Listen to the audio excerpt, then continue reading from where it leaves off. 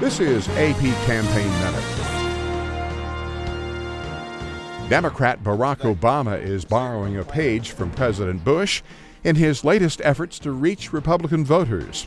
Obama says he wants to expand White House efforts to move social service dollars to religious groups. Retired Army General Wesley Clark says Barack Obama had nothing to do with the remarks he made over the weekend about John McCain's qualifications to be president. John McCain says free trade is a win win for the U.S. and its Latin American economic partners.